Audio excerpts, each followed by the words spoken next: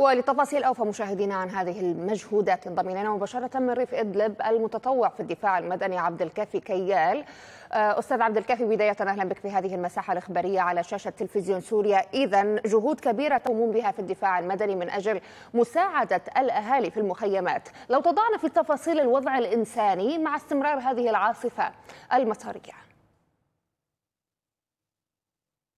السلام عليكم ورحمة الله. تحية لكم وللسادة المشاهدين. آه، في الحقيقة منذ آه، ليل البارحة كانت هناك وصباح اليوم كان هناك هطولات مطرية آه، عنيفة خلفت أضرار كبيرة في الأبنية وفي المخيمات وفي أقبية أيضا الأبنية في محافظة إدلب وفي أريافها الشمالي والغربي بالإضافة إلى مناطق أطمي وأرياف حلب.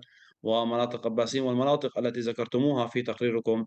آه، في الحقيقة آه، آه، الوضع كان هو يعتبر وضع كارثي في الليل وصباح هذا اليوم حيث أن الأمطار كانت غزيرة وكانت مفاجئة وكانت عاصفة جدا أدت إلى بعض الأضرار على مستوى هذه الأبنية بالإضافة إلى سد قنوات الصرف الصحي التي لم تعد يعني تقوم تسليك المياه التي آه، تدفقت بسبب هذه الأمطار. آه، الهطولات المطرية أيضا أثرت على المخيمات بشكل عام أدت إلى اقتلاع عدد من المخيمات وأدت إلى تضرر عدد من الممتلكات لأهالي المخيمات الذين هم في الأصل نازحين. كانت قد هجرتهم آلة القصف والإجرام قبل النظام.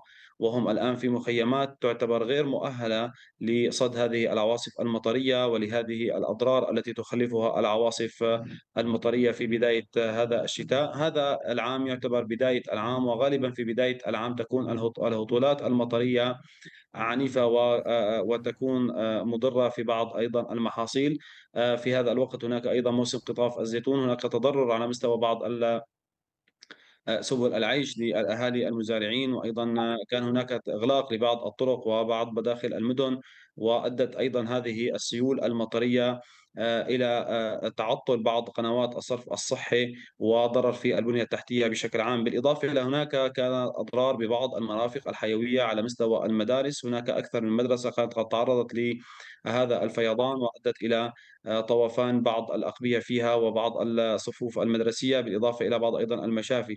فرقنا استجابت لهذه الكارثة منذ حدوثها مباشرة. أكثر من عشر فرق كانت تعمل في الميدان قامت بسحب المياه بشكل عام التي كانت تدخل إلى الأقبية وقامت بإخلاء بعض أيضا الأهالي القاطنين في هذه الأقبية بالإضافة إلى أيضا سكان المخيمات. قامت فرقنا بإخلاء بعض هذه الأهالي الذين يقطنون هذه الخيم وهي تكاد أن تقيهم آه، في الصيف كانت حرارة آه، الجو واليوم آه، لم تقيهم أيضا كثافة هذه الأمطار والهطولات والفيضانات المطرية. لا تزال فرقنا إلى الآن تعمل على تأمين الطرقات وفتحها وتعمل على تأمين الأهالي الذين كانوا قد تضرروا بسبب هذه العواصف المطرية. طيب ما العوائق التي يواجهها متطوعو الدفاع المدني في الاستجابة لنداءات الأهالي في المخيمات؟ في الحقيقة المخيمات التي كانت قد تعرضت لهذه الأضرار من العاصفة المطرية كبيرة وأغلب المخيمات تعتبر تربتها طينية مما أدى إلى انزلاقات كبيرة وأدت إلى صعوبة بعض الفرق للوصول إلى هذه المخيمات بالإضافة إلى أنه في صباح هذا اليوم كان هناك صعوبة في تأمين آه، أماكن آه، آه، آه، سريعة لهؤلاء الأهالي الذين يقطنون هذه المخيمات بسبب أنهم يقطنون في بعض المخيمات وهي تربة زراعية بين الأشجار. بعض المخيمات أيضا كما ذكرت تعتبر هي غير مؤهلة لأن تكون معدة للسكن حيث أدت أيضا آه، بعض الخيم إلى الاقتلاع بسبب العاصفة المطرية ولم يجد هؤلاء الأهالي مأوى. قامت فرقنا ما أمكن بتأمينهم إلى آه، أماكن إيواء مؤقتة وأيضا إيصال بعض الأهالي إلى أقارب لهم يلجؤون إليهم آه، حتى حلول هذا الصباح.